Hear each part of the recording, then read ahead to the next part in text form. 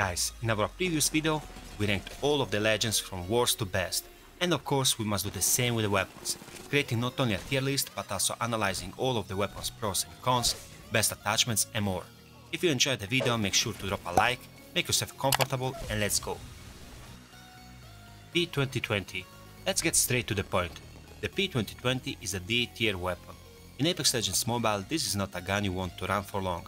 I only grab it when I just drop in, it's on the floor and I need something to fight with. I recommend that you replace it as soon as possible.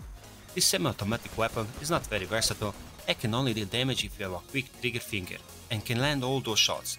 It's difficult to hit enemies with this thing, especially with a really difficult to use iron sight. There are only 3 attachments available and even with the hammer points round, you will most likely switch to a better weapon as soon as possible. The P2020 has a solid damage per magazine capacity, a quick reloading time, and you can equip a digital threat on it. And that's all. Still I believe the RE45 and the Wingman are superior options in this category. Mozambique, another D tier weapon. Sorry if I'm being rude, and I know you like hearing this, Mozambique, yeah. but this is the worst shotgun and one of the worst weapons in the game. It has the lowest damage, precision and range when compared to other shotguns. The spread of the bullets in a super tight triangular shape, making it a terrible weapon for hip fighting and close range fights. The Mozambique hits for around 15 damage per bullet, so you must land all three to be useful. I strongly advise to swap it out for another shotgun as soon as possible. Devotion. You either hate it or love it, but I personally enjoy playing with the Devotion, so I'll give him an A. The Devotion is one of the strongest energy weapons in the game, even if they have reduced the basic damage from 17 to 16 in the last patch, but it performs very differently than other LMGs. The Devotion, like most energy weapons, takes a while to get going. However, after a few rounds, it will spit out bullets at an alarming fast rate. This is increased even more when the weapon is equipped with a turbocharger, allowing you to reach the top firing speed even faster. With one of the highest DPS in the game, it's a beast in close and mid-range fights. This weapon is simple to use but difficult to master due to the high vertical recoil, which can be difficult to control especially in the first few seconds. It has a massive 14 bullet mag, but due to the insanely fast rate of fire, it can shoot them up in seconds, requiring a gold or purple mag. However, a gold mag and a turbocharger can be difficult to come by, so other stock weapons are a far better option. The Devotion is an amazing weapon, but only in certain circumstances with the right attachments. L-Star. The L-Star was great during the soft launch in Season 1, but is no longer OP as before. As a result, I will give the regular L-Star a C and a solid A for this current care package rotation. When compared to other LMGs, it has the worst range and extremely hard to control vertical recoil. The L-Star in theory does not have a mag and instead throws ammo directly from the inventory. The L-Star has a unique overheating system that activates after a certain amount of consecutive shots, depending on the mag. In the current Mythic airdrop version, it will overheat after 34 consecutive shots. It only needs to cool down if it overheats. Essentially, if you know how to handle an L-Star, you will not need to reload at all, giving you a significant advantage on the battlefield. However, this can be difficult to achieve, especially in the middle of the fight. When fighting, many L-Star users simply hold down the trigger, but you want to break this habit if you don't want to be stuck in the long cooldown animation. Still, if we are talking about better energy weapons, I prefer other LMGs like the Devotion or the Volt. Sentinel. This season a B tier weapon. Bolt action snipers are incredibly satisfying and fun to use, but where the Sentinel falls short is that it takes quite a long time to rechamber a bullet and then shoot again, and lacks of that higher fire rate that allows you to constantly shoot someone. When a Sentinel shoots at me, I know I have plenty of time to move from cover to cover because there's a lot of downtime between bullets that other sniper rifles don't have. You can charge up the Sentinel with shield cells to remove enemy shield with one hit, but cells can be precious and I'm sure you'd rather have them in stock than waste them on the Sentinel. And the charging animation time is just too long, especially when you're fighting. It does more damage than the longbow, but the longbow has a much faster fire rate and the ability to equip skull piercer rounds. With the charge rifle's hitscan power and the Kraber insane damage, I believe he's only good until you find one of those snipers. Mastiff. The Mastiff is an excellent B in this season. Outside of the Kraber, you won't find a higher damage per shot weapon in Apex Legends Mobile. If you are able to land all the pellets in one hit, you can eliminate an enemy with a purple shield in just two shots, and that's insane. The Mastiff spread pattern is in a straight, wide horizontal line, rather than the normal pellet spread of a typical shotgun.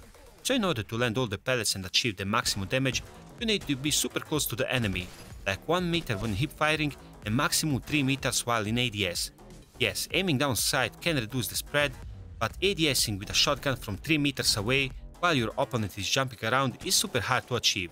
Also the Mastiff has the slowest fire rate and the slowest reloading time of any weapon, but you can cut those seconds with the dual shell hop up, or reload after every single shot like the 30-30, which is difficult but doable, better than waiting for the auto reload at empty mag. If you can master the Mastiff, you will have one of the game's best close range weapons. Charge Rifle The Charge Rifle is a A tier weapon. Let's start with the disadvantages. The laser beam will immediately reveal your location because lasers are much easier to spot than regular bullets. It has a long reload time and use 2 rounds per shot. So you'll need to be careful because you run out of ammo quickly. So why the A tier? The charge rifle is Apex only hit scan weapon. Means when you shoot, you will do damage on the spot.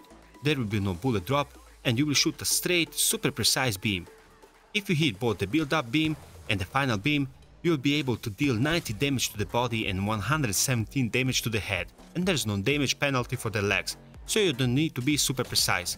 Also the charge rifle is excellent for quickly level up your Evo shield, and the most important, is super fun to play. Alternator. This time the weakest of the SMGs receives a solid A. In the light class, the Alternator has always struggled to compete with big brothers like the R99 and the R301.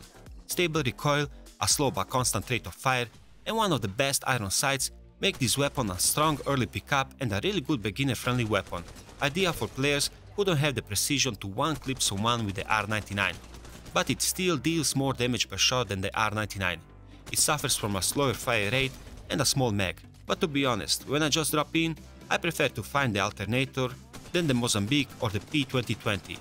It's just a solid starting weapon even without any attachments. Longbow. After months of playing Apex and testing every weapon, I must admit that the longbow is my favorite sniper and an S tier weapon. Despite being a designated marksman rifle, the longbow is classified as a sniper in the game. Longbow bullets travel slower and are more prone to gravity when compared to other snipers, but the excellent fire rate, mag capacity and reloading time compensate that, giving you a huge advantage over other snipers. In addition, he's the only sniper who can equip the Skull Piercer hop-up which increases headshot damage from 110 to an insane 138. Means if you are good in sniping, you will be greatly awarded by the hop-up. Easy to use and versatile, and the ability to equip up to 5 attachments will make this weapon even more deadly. Hemlok. I just think the Hemlok is underrated, and he is in the toughest class with legendary rivals like the Flatline and the R301. But I really enjoy fighting with the Hemlok, so it's a solid B this season. The Hemlok is a mid to long range assault rifle. It features a 3-round burst shot mode as well as a semi-automatic mode. While burst fire is more effective in mid-range, single shot mode can be used to take down enemies from a greater distance. Hemlok is not a beginner-friendly weapon because it is an assault rifle with no full auto mode. With its high base damage of 22, it is difficult to make it work, but when it does, it works wonders. However, he is not very good in close range fights, due to the fact that neither the single shot or the burst mode are suitable for such fights, as well as the low hip fire accuracy. 30-30 This is another underrated weapon with a lot of potential. This season is a solid B. Marksmen are not as well liked by players as snipers or assault rifles, but they hide a lot of potential. This weapon is excellent for mid to long range combat and a mix between the G7 and the longbow. What differs the repeater is that it steadily charges up when you aiming down sight, increasing the damage of your next shot by 35%, up to an insane 57 damage to the body, making it even deadlier than the longbow, especially given the much faster fire rate. However, with only 10 bullets per mag, you will need to pay close attention to it, especially if you allow the auto reload on empty mag, it will take an insane 4.9 seconds to reload, the last thing you need in the middle of a fight. Yes, you can boost the reloading with a dual shell hop up or you can reload after each shot, but the dual shell can be difficult to find and reloading after every shot or two while fighting can be difficult to do, still extremely versatile and lethal. Prowler. This was one of the most difficult decisions to make. To put it simple, is the best SMG for close range combat, with insane DPS, a solid mag and a deadly hip fire. But using this SMG outside of close range is endlessly frustrating. The low range and 5 round burst pattern feel terrible beyond 50 meters, making this weapon less appealing than most other SMGs. Even the full auto mode included in this care package mythic version will not help you out outside of that close range safe zone. Instead, you will experience an insane vertical recoil that is difficult to control even while in ADS. Damage and speed are meaningless if you can control the weapon. For this reason, even if it's a mythic version, I will give him an A. If they can adjust the burst pattern, range and recoil, I'll definitely place him in the top tier next season. Spitfire. This season the Spitfire is a B, with solid damage and an insane 40 bullets mag that can be extended up to 55 bullets with a gold mag. With this LMG, you don't need to worry about reloading in the middle of a battle. When the opponent is reloading, you will still have plenty of bullets left in your mag to take him down. But it does not have a lot of up-close DPS potential, so if somebody getting close range with you, you are falling kind of behind, and better have an SMG with you. Also in other medium to long range engagements, it does also get out of DPS, but like I say, you can still spray opponents and last longer during a fight without reloading, giving you a huge advantage. Right now, it has only 3 attachments available. I hope they will add at least a barrel stabilizer in the next season. Still I can't forget how much the Spitfire was OP in the first seasons. Havoc. I keep it simple. A C without the turbocharger hop up and an A plus if you can find the turbocharger. Sorry, I just can't get used to the Havoc long wind up time. It requires a couple of milliseconds before start shooting, which is a nightmare in any type of situation, especially close range fights. It requires you to master the pre-firing skills due to the wind up time disadvantage. Yes, it is a high DPS and the best starting mag of all assault rifles, and can be devastating in mid-range fights, but the wind up time is a party killer. I just think the R301 and the flatline are a way better alternative. Triple take. I'm just not used to the triple take guys, and for me is a C. The so-called shotgun sniper is neither a shotgun nor a sniper. Let's talk about his shotgun skills. Yes, it can deal a lot of damage, but only if you can land all three bullets at once, which can be difficult to do because of the wide horizontal bullet spread pattern, especially when hip firing, and the low fire rate is just a no-go in close range fights. Any other shotgun will do a better job than a triple take.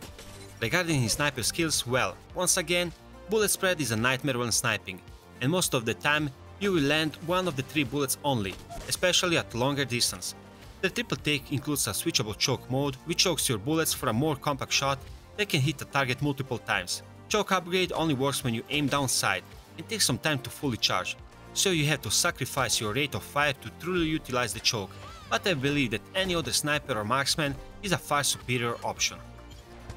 G7 To be honest guys, I avoided the G7 until this video, and after testing it, I must admit it's a well-deserved A.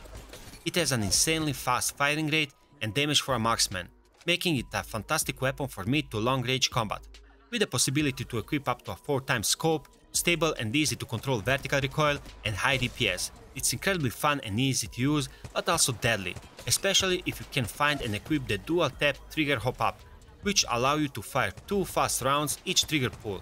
An amazing addition especially in mid-range fights. The only disadvantage is that it is not ideal for close range combat, therefore I always recommend carrying an SMG with you at all times. R99 One of my favorite weapons, the R99, it's an S tier weapon. This is by far the greatest weapon for close range. The fire rate and time to kill are amazing. If your target is close enough, you will one-clip him in seconds. However, anything beyond 30 meters can be difficult to hit.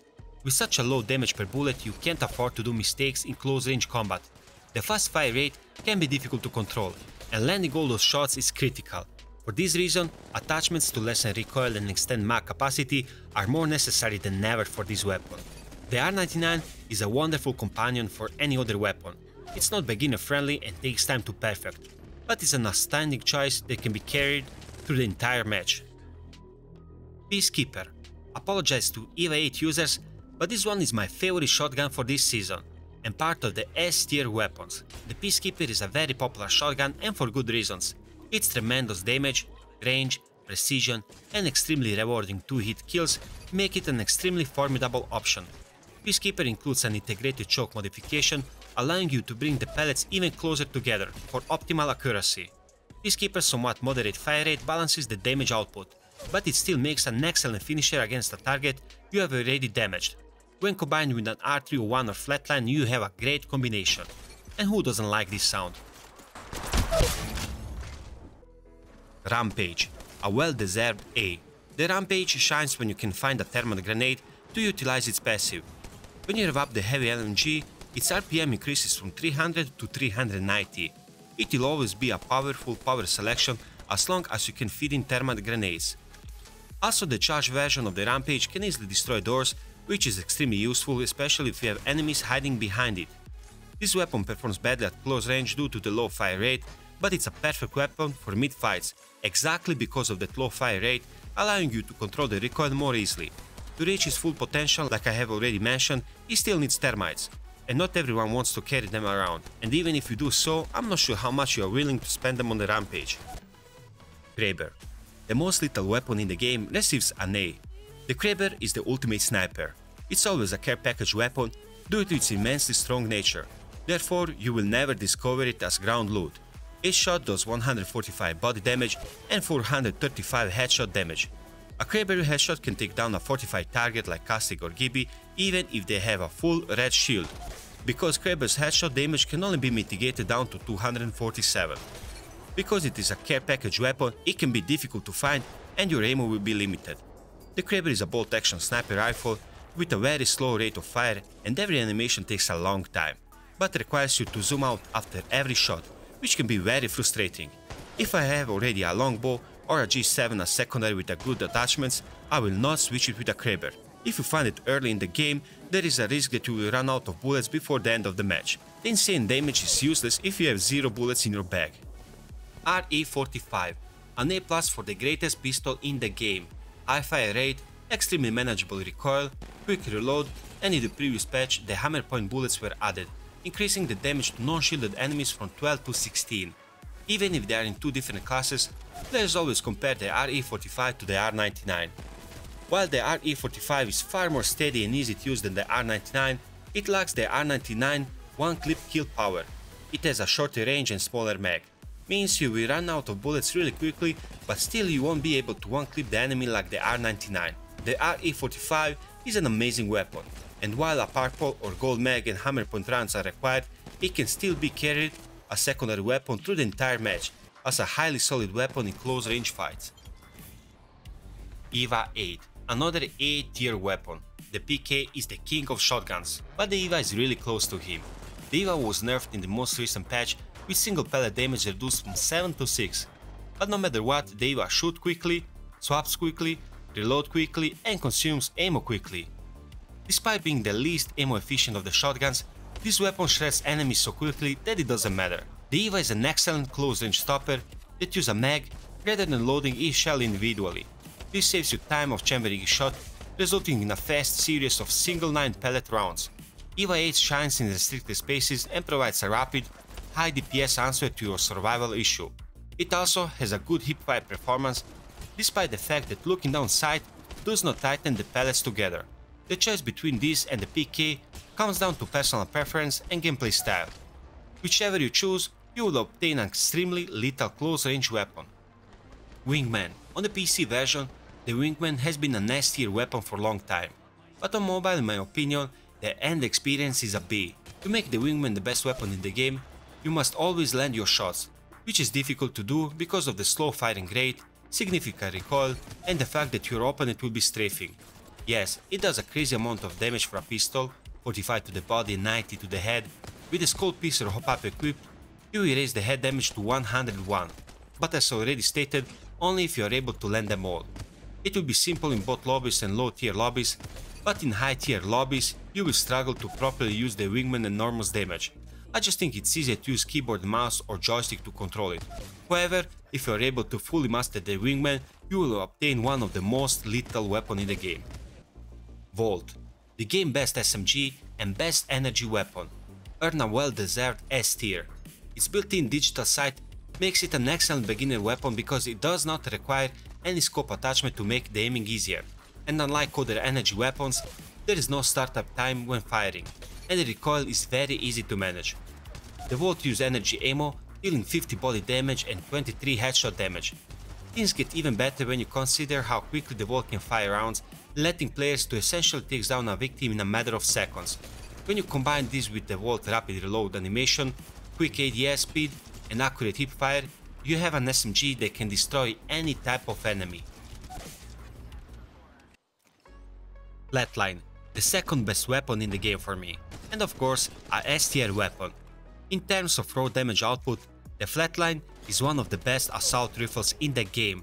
Despite having some rather bad iron sight and more recoil than its light ammunition equivalent, the R301, the Flatline is S tier for a couple of reasons.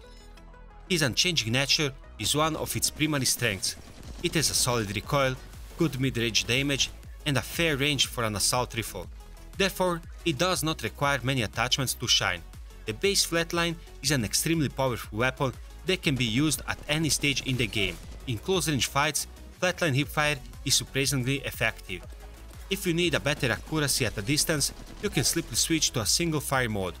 One of the primary difficulties with this weapon, as previously stated, is the iron sight. It's extremely bad. Therefore, getting some optics is necessary if you want to make the most of it, and the 3 times scope is the best option. R301 and now comes the king of all weapons, the R301, a S tier for this beast. The R301 has been a lower rounder since Apex Legends mobile launch. While its capacity without a light mag upgrade is rather limited at 20 rounds, its laser precision and fast fire rate make it a difficult gun to overlook. With an accurate hip fire and easy to control recoil, this weapon is ideal for mid and close combat. On longer distances, you may also convert to single fire mode and add a 2 or 4 times scope, and the results will amaze you. This weapon excels in any situations due to its tremendous DPS, high fire rate, short time to kill and short reload time. There is no better choice for a beginner weapon. Even without any attachments, it can easily destroy any enemy. The only recommendation is to equip a stronger mag as soon as possible to boost its efficiency even further. This will bring us to the end of today's journey. I have so many ideas in the upcoming months, videos that will blow your mind. As always, if you like the video, make sure to drop a sub, a like and turn on the notification bell. Until the next video, stay safe.